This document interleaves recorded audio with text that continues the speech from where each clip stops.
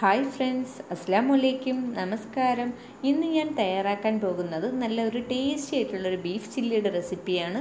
അത് നമുക്ക് വളരെ പെട്ടെന്ന് തന്നെ ചെയ്തെടുക്കാൻ പറ്റും. നമുക്കതെങ്ങനെ തയ്യാറാക്കാമെന്ന് നോക്കാം.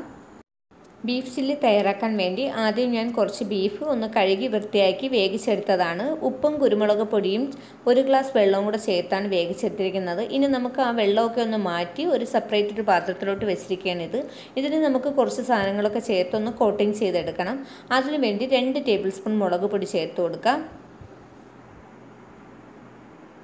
രണ്ട് ടേബിൾ സ്പൂൺ മുളക് പൊടിക്ക് ചേർത്ത് കൊടുത്തിട്ടുണ്ട്. ഇനി നമുക്ക് ഒരു ടേബിൾ സ്പൂൺ കുരുമുളക് പൊടി ചേർത്ത് കൊടുക്കാം.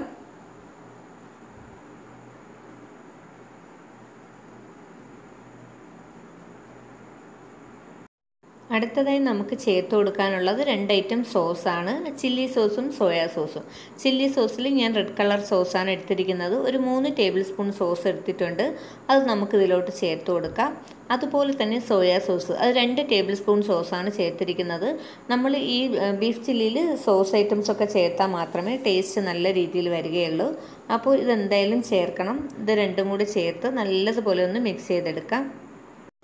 ബീഫിലോട്ട് എല്ലാം ആകുന്ന രീതിയിൽ കൈ ഉപയോഗിച്ചതിന് നല്ലതുപോലെ ഒന്ന് മിക്സ് ചെയ്ത് കൊടുക്കാം.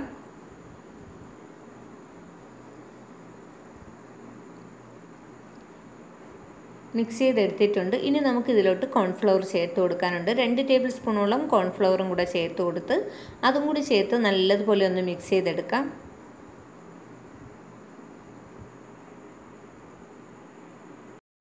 മിക്സ് ചെയ്ത ബീഫ് ഉടനെ തന്നെ നമുക്ക് ഫ്രൈ ചെയ്തെടുക്കാം. അതിനുവേണ്ടി ഞാനൊരു പാനിലോട്ട് കുറച്ച് സൺഫ്ലവർ ഓയിൽ ചേർത്ത് കൊടുത്തിട്ടുണ്ട്. ഇതിനെ നമുക്കൊന്ന് ഫ്രൈ ചെയ്തെടുക്കാം. നമ്മൾ കുക്കറിൽ വെച്ച് വേവിച്ചെടുത്ത ബീഫായതുകൊണ്ട് ഫ്ലെയിമൊക്കെ കൂട്ടിയിട്ട് തന്നെ വേഗം മുരിച്ചെടുക്കാം.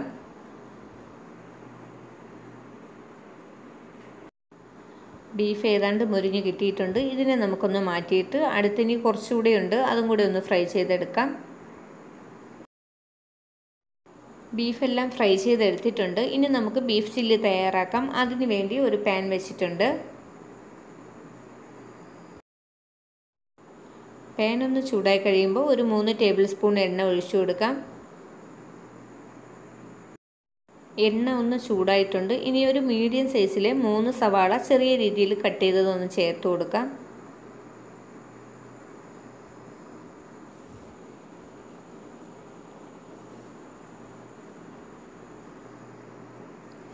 ഇത് രണ്ട് പ്രാവശ്യമായിട്ടാണ് സവാള ചേർക്കുന്നത്. ഒരു മൂന്ന് സവാള ഇപ്പോൾ ചേർത്തിട്ടുണ്ട്. ഇനി രണ്ട് സവാള നമുക്ക് ലാസ്റ്റിൽ സ്ക്വയർ രൂപത്തിൽ അരിഞ്ഞ് അത് ചേർത്ത് കൊടുക്കാം. ഈ സവാള നല്ലതുപോലെ ഒന്ന് വഴറ്റിയെടുക്കുക.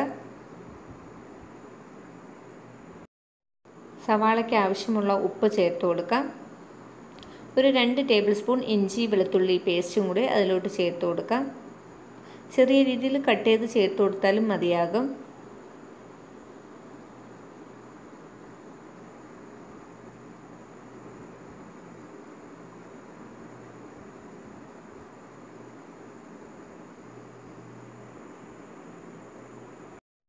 സവാള എന്ന് ചെറിയ രീതിയിൽ മൊരിയുകയും സോഫ്റ്റായി വരികയും ചെയ്തിട്ടുണ്ട്. ഇനി നമുക്ക് ഇതിലോട്ട് ഒരു ഏഴെട്ട് പച്ചമുളക് ചെറിയ രീതിയിൽ കട്ട് ചെയ്ത് ഇതുപോലെ ഇതൊന്ന് ചേർത്ത് കൊടുക്കാം. ഇത് നമുക്ക് എരിവില്ലാത്ത പച്ചമുളകാണ് ഞാൻ ചേർത്തിരിക്കുന്നത്. കുറച്ചധികം മുളക് വേണമെങ്കിൽ ഇനിയും ചേർക്കാവുന്നതാണ്.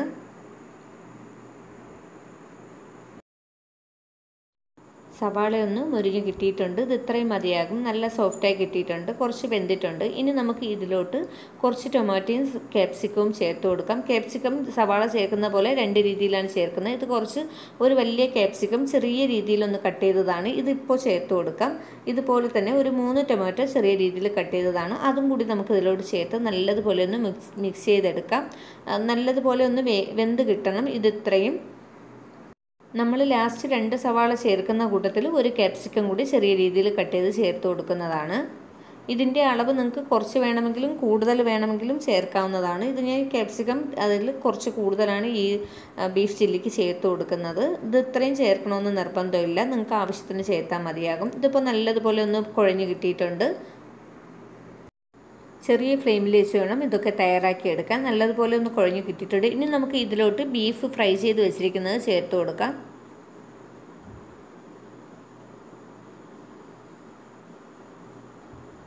ഫ്രൈ ചെയ്ത ബീഫുമായിട്ട് നല്ലതുപോലെ ഒന്ന് മിക്സ് ചെയ്ത് യോജിപ്പിച്ചെടുക്കാം.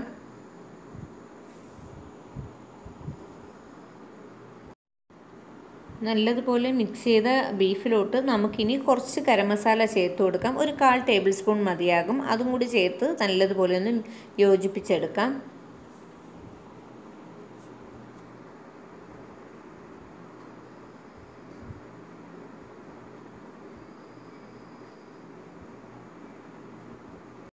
ഇനി നമുക്ക് ബീഫ് വേവിച്ച് വെച്ച് ആ വെള്ളം ഇതിലോട്ട് ചേർത്ത് കൊടുക്കാം. ഈ സമയം ചേർത്ത് കൊടുക്കാനാണ് നമ്മൾ ആദ്യം ഫസ്റ്റിലെ ബീഫ് വേവിച്ചെടുത്ത ആ വെള്ളം കളയാതെ ഇതിലോട്ട് ഈ സമയം ഒന്ന് ചേർത്ത് കൊടുക്കാം. അത് ചേർത്ത് കൊടുത്ത് എല്ലാം കൂടി നല്ലതുപോലെ ഒന്ന് മിക്സ് ചെയ്യുക. ബീഫ് വെള്ളവും കൂടെ ചേർന്ന് നല്ലതുപോലെ ഒന്ന് മിക്സ് ചെയ്തതിന് ശേഷം ഇനി നമുക്ക് കുറച്ച് സോസ് ഐറ്റംസും കൂടെ ഒന്ന് ചേർത്ത് കൊടുക്കാം.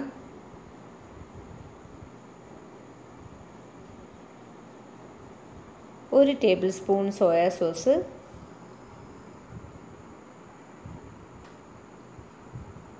ഒരു രണ്ട് ടേബിൾ സ്പൂൺ ചില്ലി സോസ് ചേർത്ത് കൊടുക്കാം. ഇതും കൂടെ ചേർത്തതിന് ശേഷം നല്ലതുപോലെ ഒന്ന് ഇളക്കി യോജിപ്പിച്ച് കൊടുക്കാം. അടുത്തതായി രണ്ട് സവാളയും ഒരു ക്യാപ്സിക്കവും സ്ക്വയറായിട്ട് കട്ട് ചെയ്ത് വെച്ചത് അത് നമുക്കിതിലോട്ട് ചേർത്ത് കൊടുക്കാം. അത് ചേർത്ത് കഴിഞ്ഞതിന് ശേഷം ഒരു ടേബിൾ സ്പൂൺ കുരുമുളക് പൊടി ചേർത്ത് കൊടുക്കുന്നുണ്ട്. ഇത് ഓപ്ഷനിലാണ്. എരിവ് കുറച്ച് അധികം വേണമെന്നുണ്ടെങ്കിൽ ഇത് ചേർത്ത് കൊടുക്കാം. ഈ കുരുമുളക് പൊടിയൊക്കെ ഈ സമയത്ത് ചേർത്ത് ഇതുമായിട്ട് മിക്സ് ചെയ്യുമ്പോൾ നല്ല ടേസ്റ്റാണ് കുറച്ച് എരിവും കാണും. അതനുസരിച്ച് നിങ്ങൾക്ക് വേണമെങ്കിൽ ചേർത്ത് കൊടുത്താൽ മതിയാകും. നല്ലതുപോലെ ഒന്ന് ഇളക്കി യോജിപ്പിച്ച് കൊടുക്കാം. മീഡിയം ഫ്ലെയിമിലോട്ട് കുറച്ച് ഇതുപോലെ ഒന്ന് ഇട്ടിരിക്കുക. ഇതൊന്ന് കുഴഞ്ഞു വന്നിട്ടുണ്ട്. ഇനി നമുക്ക് ഇതിലോട്ട് കുറച്ച് മല്ലിയില ചേർത്ത് കൊടുക്കാം.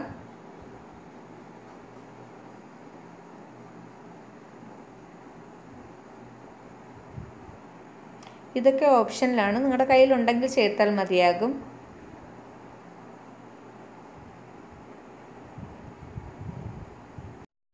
മല്ലിയില ചേർത്തതിന് ശേഷം ഒന്ന് മിക്സ് ചെയ്ത് കൊടുക്കാം.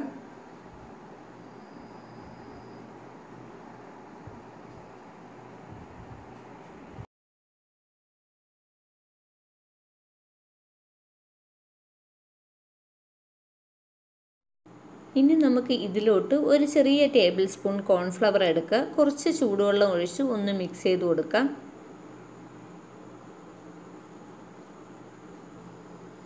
കട്ടയില്ലാതെ ഒന്ന് കലക്കിയതിന് ശേഷം നമുക്ക് ഇതിലോട്ട് ചേർത്ത് കൊടുക്കാം.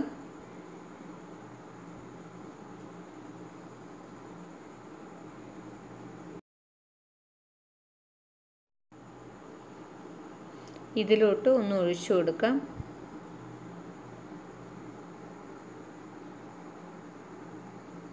അതും കൂടി ചേർത്തതിന് ശേഷം ഒന്ന് മിക്സ് ചെയ്ത് കൊടുക്കാം. നിങ്ങൾക്ക് ബീഫ് ചില്ലി ഡ്രൈ ആയിട്ട് മതിയെങ്കിൽ ഒരു മീഡിയം ഫ്ലെയിമിൽ അഞ്ച് മിനിറ്റ് ഇട്ടതിന് ശേഷം നിങ്ങൾക്ക് ഓഫാക്കാവുന്നതാണ് കുറച്ച് ചാറോട് കൂടിയുള്ള ബീഫ് ചില്ലിയാണ് വേണ്ടതെങ്കിൽ നല്ലതുപോലെ കുറച്ച് വെള്ളം വെട്ടി തിളപ്പിക്കുക. ഇതുപോലെ വെട്ടിത്തിളച്ച വെള്ളം നമുക്ക് ആ ബീഫ് ചില്ലിയിലോട്ട് ചേർത്ത് കൊടുക്കാവുന്നതാണ്. ഇത് ചേർത്തതിന് ശേഷം നല്ലതുപോലെ ഒന്ന് ഇളക്കി യോജിപ്പിച്ച് കുറച്ച് സമയം നല്ലതുപോലെ ഫ്ലെയിമൊക്കെ കൂട്ടിയിട്ട് ഒന്ന് ഇതൊന്ന് പിന്നെ നമുക്ക് ഗ്രേവി ആക്കി എടുക്കാം.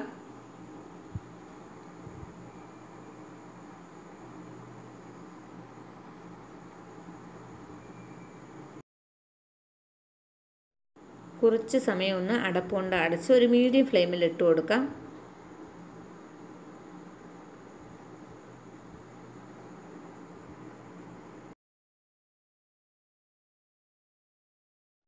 കുറച്ച് സമയത്തിന് ശേഷം നമ്മുടെ ബീഫ് ചില്ലി എന്തായെന്ന് നോക്കാം.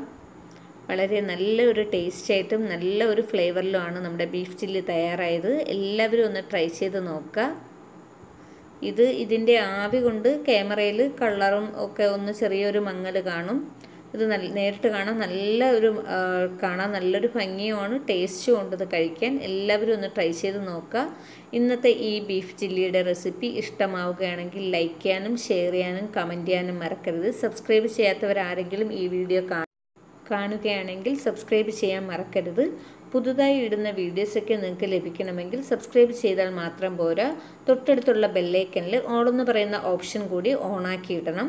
നമ്മുടെ ടേസ്റ്റി ആയിട്ടുള്ള ബീഫ് ചില്ലി ഞാനൊരു പ്ലേറ്റിലോട്ട് മാറ്റുന്നുണ്ട്. ഇത് നല്ല ചൂട് ചപ്പാത്തി പൊറോട്ട ഫ്രൈഡ് റൈസ് ഇതുപോലുള്ള ഏതിന്റെ കൂടെയും നല്ല ടേസ്റ്റി ആയിട്ട് നമുക്ക് കഴിക്കാൻ പറ്റും. എല്ലാവരും ഒന്ന് ട്രൈ ചെയ്ത് നോക്കുക. നമ്മുടെ ബീഫ് ചില്ലി എങ്ങനെയുണ്ടെന്ന് ഞാനൊന്ന് ടേസ്റ്റ് ചെയ്ത് നോക്കട്ടെ. നല്ല ചൂടാണ്. കുറച്ചെടുക്കാം.